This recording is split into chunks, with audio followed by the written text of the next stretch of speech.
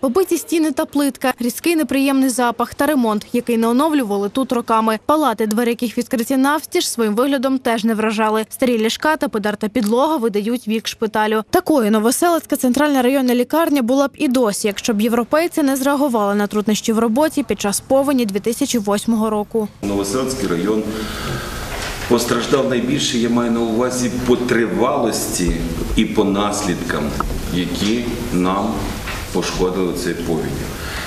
Кількість постраждалих, яким ми надавали допомогу. Тобто все говорило про те, що є необхідні покращені, покращені ситуації по екстреній медичній допомозі, по наданню таких от послуг. У лікарні вирішили взяти участь у проєкті Медицина в надзвичайних ситуаціях та випадках швидка відповідь транскордонним викликам. Їм надали кошти на ремонт операційного відділення. Хірурги порівнюють попередній його стан і кажуть, тепер працюватиметься легше. Для нас це дуже, тому що, ну, повірте, вже якщо я навіть, е, так сказати, маючи за, е, за, за спиною вже більше 30 років досвіду, то і я, наприклад, дуже і дуже задоволений цим.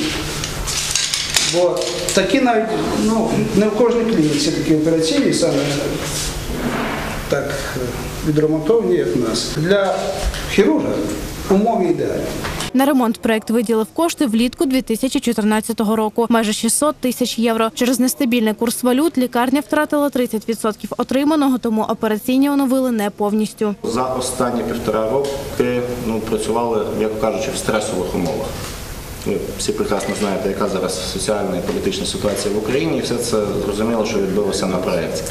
Е, Все почалося прямо зі старту, коли к нам прийшли гроші, ми були зобов'язані продати 50% валюти і опинились з гривною, яка за півтора роки, м'яко кажучи, знецінилася. Новоселецька лікарня вже чекає на наступний транш для закупівлі машини швидкої допомоги та реанімобіля із повним комплектом медичного обладнання. Медики сподіваються, з часом їм вдасться відремонтувати усю лікарню. Олександра Агієва, Іван Чижик. Місцевий час.